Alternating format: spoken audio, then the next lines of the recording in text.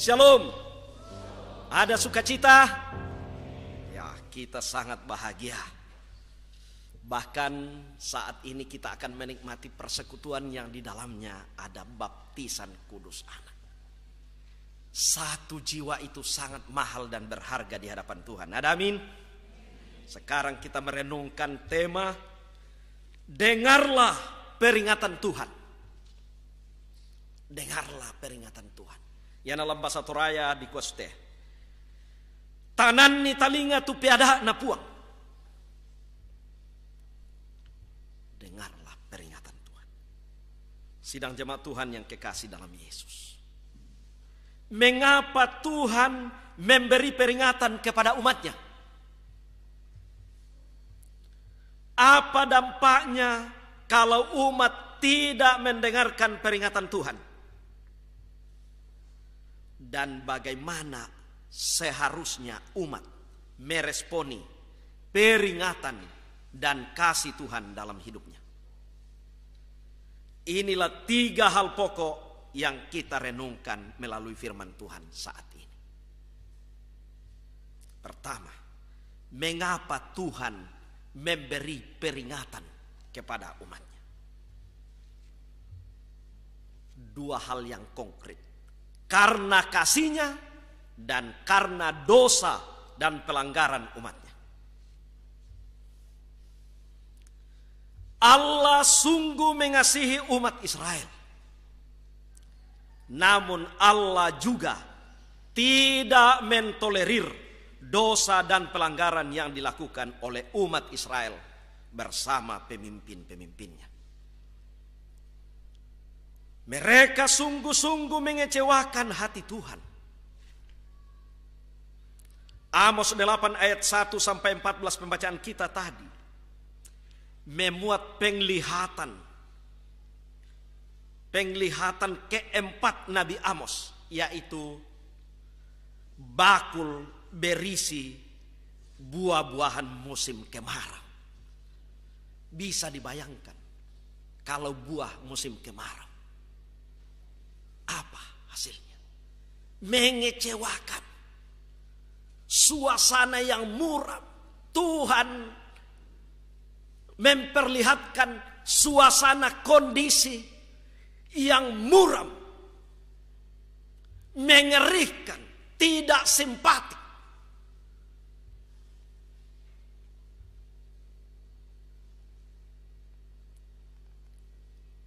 penglihatan ini mau menunjukkan bahwa penghukuman akan segera dialami oleh umat Israel dalam berbagai aspek kehidupan karena perbuatan mereka yang menyakitkan hati Tuhan.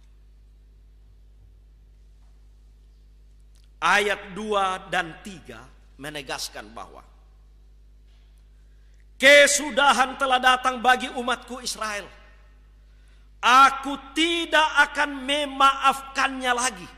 Oh, nalatang sumpu sumandak tak kira dikua puang mutu taen maafkan.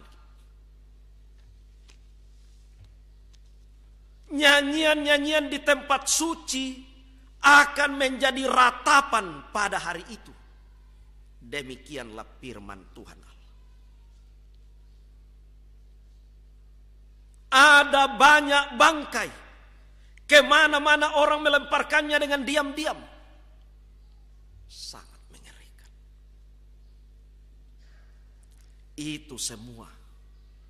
Karena ulah kejahatan dan kebobrokan moral yang dilakukan umat bersama pemimpinnya yang sungguh-sungguh mengecewakan hati Tuhan. dosa dan pelanggaran apakah yang mereka lakukan? Sangat jelas diuraikan dalam Amos 8 ayat 4 sampai 6 pembacaan kita tadi. Perbuatan-perbuatan mereka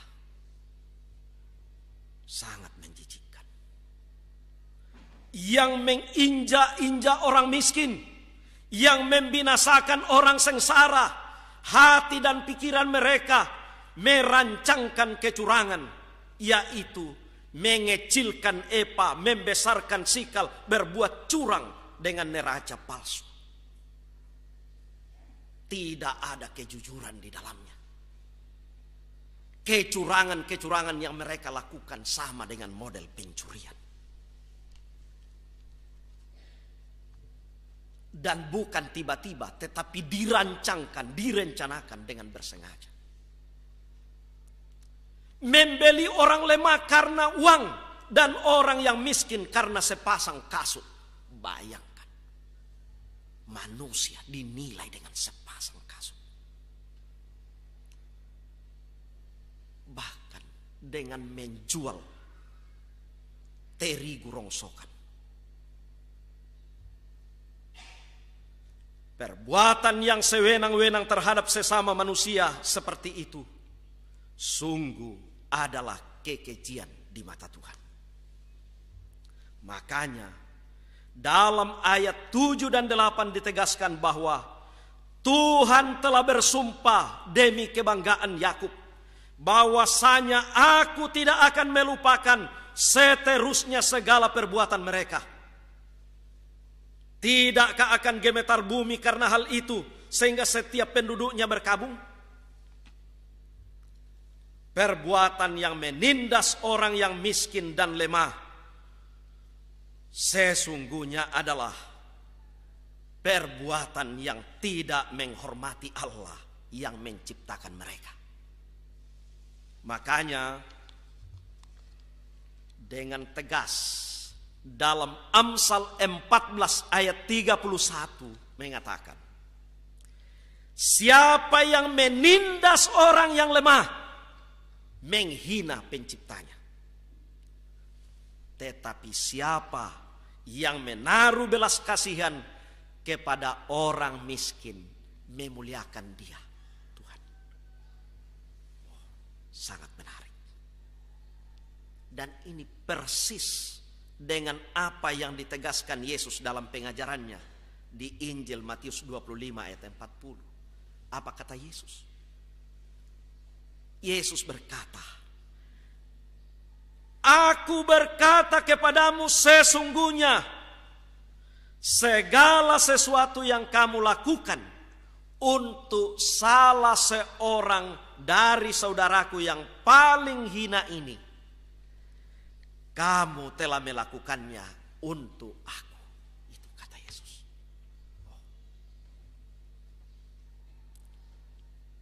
Mungkin sering kita tidak sadari bahwa ternyata perlakuan kasih kepada orang yang miskin dan lemah itu sungguh-sungguh dirasakan oleh Yesus. Karena itu saudara-saudaraku yang kekasih, Ketika kita mau bertindak terhadap orang miskin dan lemah, ingat bahwa di balik mereka itu ada Allah Sang Pencipta yang tidak kelihatan, merasakan perlakuan kita, apakah baik atau buruk terhadap mereka. Mereka juga adalah ciptaan Tuhan yang mulia. Dan siapa yang tidak kecewa kalau ciptaan kita dihina dan diinjak-injak orang.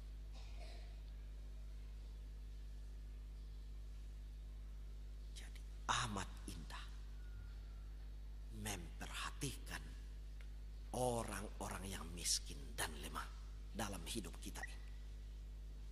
Itu yang pertama. Yang kedua, apa dampaknya kalau umat tidak mendengarkan peringatan Tuhan?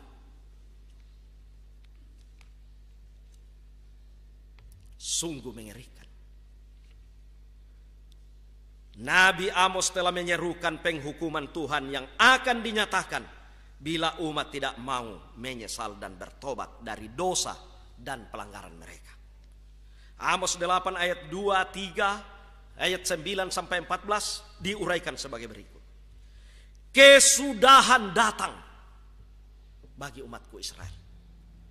Lasa itu mak apa dalilnya? Kalau kesudahan bagi kita datang, kita tak berdaya untuk mengelak. Tuhan tidak akan memaafkannya lagi. Sedangkan teman, orang tua, saudara tidak memaafkan kita Amat pahit. Apalagi Tuhan.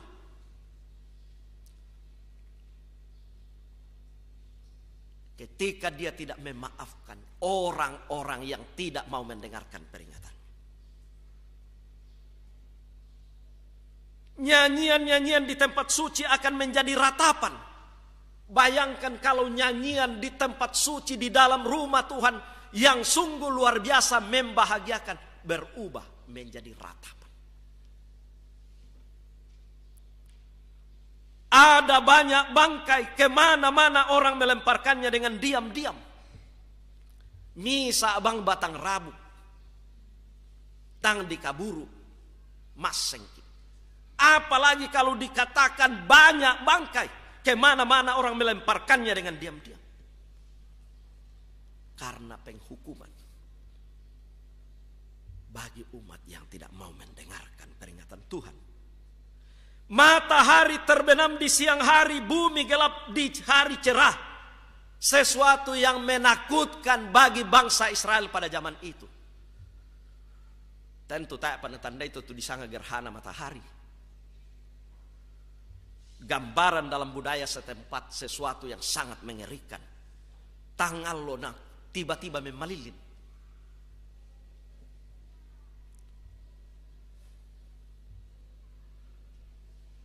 Perayaan-perayaan menjadi perkabungan, nyanyian menjadi ratapan.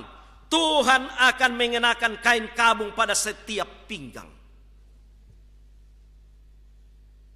Dan menjadikan gundul setiap kepala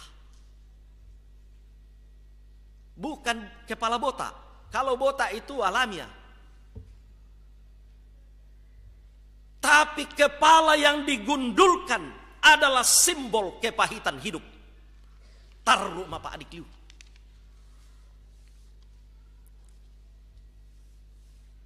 Perkabungan karena kematian anak sulung. Oh. Anak tunggal. Bayangkan kalau hanya satu anaknya, matilah. Penderitaan. Sungguh menyedihkan. Bahkan Tuhan akan mengirimkan kelaparan. Dan bukan kelaparan akan makanan dan bukan kehausan karena air. Melainkan akan mendengarkan firman Tuhan.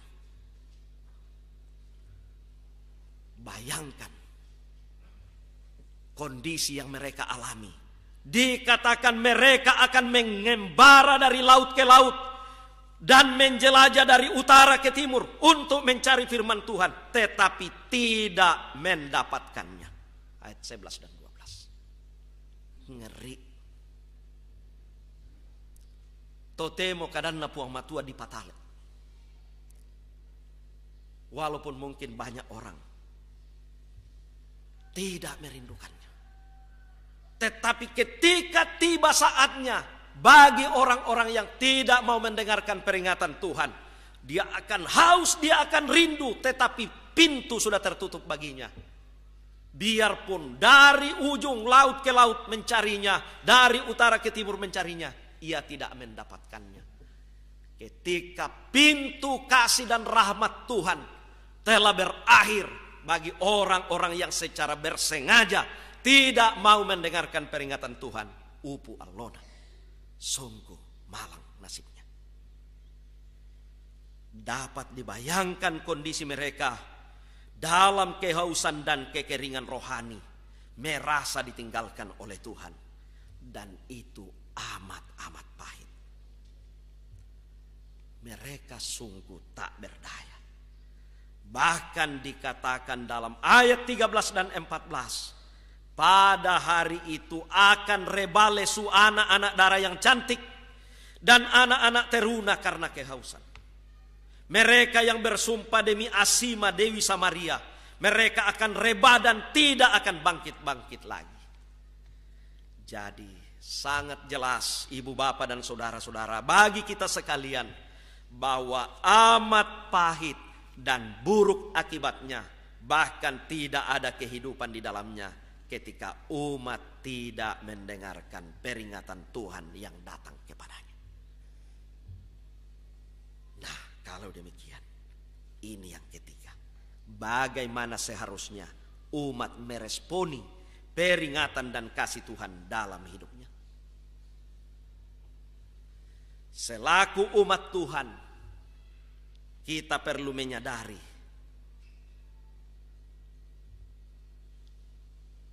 bahwa mengapa guru dan orang tua memberikan peringatan kepada anak-anaknya. Tak lain dan tak bukan. Itu karena cinta kasihnya kepada anak-anaknya. Demikian juga cinta kasih Tuhan bagi kita umatnya. Sehingga ia memberikan peringatan kepada kita. Karena itu kita perlu menerima dan menyambutnya dengan penuh syukur.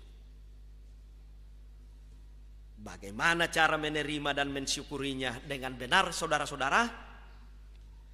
Dengan penuh kerendahan hati, kita membuka diri, menyesal dan bertobat atas segala dosa dan kesalahan kita dan berkomitmen untuk hidup menuruti kehendak Tuhan dalam hidup kita.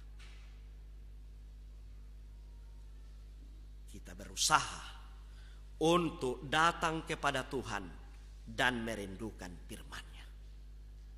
Seperti apa yang dilakukan oleh Maria dalam menyambut dan melayani Yesus dengan benar. Berbeda dengan sambutan dan pelayanan Marta yang hati, pikiran, dan tenaganya terkuras untuk sibuk sekali melayani. Tetapi tidak menikmati kebersamaan dengan Yesus dan tidak mendengarkan firman-Nya. Malah apa yang dilakukan oleh Marta. Ia menggerutu datang kepada Yesus dengan berkata, Tuhan tidakkah engkau peduli? Oh, masa Tuhan dianggap tidak peduli? Tuhan tidakkah engkau peduli bahwa saudaraku membiarkan aku melayani seorang diri? Suruhlah dia membantu aku. Lukas 10 ayat 40. Apa jawab Yesus kepada Marta, saudara-saudara? Yesus menjawab, Marta, Marta, engkau khawatir dan menyusahkan diri bisa dibayangkan teken sanganta tu tasabu. Ini ada raya. Anto, anto.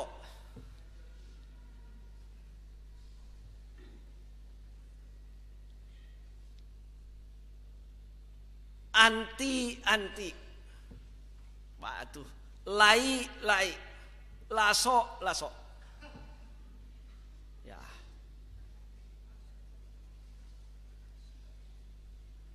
Mengapa engkau khawatir dan menyusahkan diri dengan banyak perkara?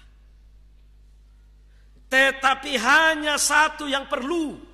Maria telah memilih bagian yang terbaik yang tidak akan diambil daripadanya.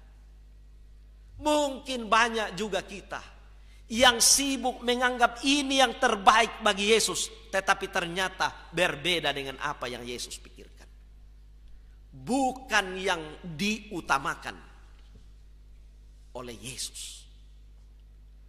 Bukan yang menjadi prinsip.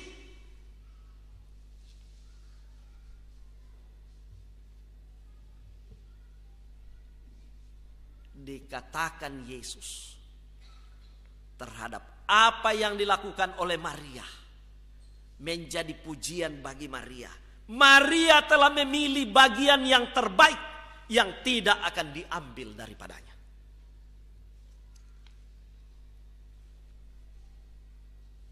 Yesus bukannya mengabaikan urusan pelayanan makan dan minum yang dilakukan Marta. Tetapi Yesus mengkritiknya karena khawatir dan menyusahkan diri dengan banyak perkara sehingga mengabaikan untuk memilih bagian yang terbaik yaitu datang kepada Yesus dan mendengarkan firman-Nya. Dan itu yang dilakukan oleh Maria. Relasi yang dekat dengan Yesus. Fokus dengan Yesus, mendengarkan firman-Nya. Itu yang paling berharga. Bahkan dalam Injil Matius Yesus katakan, carilah dahulu kerajaan Allah beserta kebenarannya maka semuanya akan ditambahkan kepadamu. Prinsip keutamaan Kristus dalam hidup kita sangat penting seperti yang ditekankan oleh Rasul Paulus kepada jemaat Tuhan di Kolose. Yesus di atas segala-galanya. Bagaimana dengan kita sekalian? Sejauh mana kita mengutamakan Kristus dan kehendaknya dalam hidup kita. Mengutamakan dengan pekerjaan-pekerjaan rutinitas kita. Mengutamakan dengan kesibukan-kesibukan kita. Mengutamakan dengan sahabat-sahabat sepermainan kita.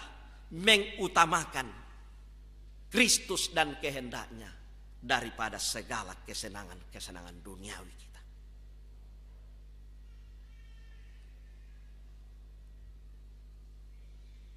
Mendengarkan dan melakukan perintahnya dengan setia dalam hidup kita setiap hari. Salah satu bukti melakukan perintah Kristus saat ini adalah pelaksanaan baptisan kudus kepada anak yang dianugerahkan Tuhan kepada keluarga kita Alvin dan Clara. Tuhan memberkatimu dalam memenuhi salah satu perintah Yesus, menyerahkan anakmu menerima tanda anugerah keselamatan dari Allah. Bagaimana dengan kita sekalian? Apakah kita juga bersedia untuk melakukan perintah-perintah Yesus dalam hidup kita. Teristimewa. Mengutamakan dia Kristus dalam hidup kita. Berkomitmen siap untuk mendengarkan peringatan Tuhan dalam menjalani hidup kita. Selamat menjadi umat yang setia suka mendengarkan peringatan-peringatan Tuhan dan mau melakukan kehendaknya dalam menjalani hidup anugerah Tuhan. Kapan dan di mana saja kita berada. Roh Kudus menyertai kita semua. Tuhan Yesus memberkati. Amin.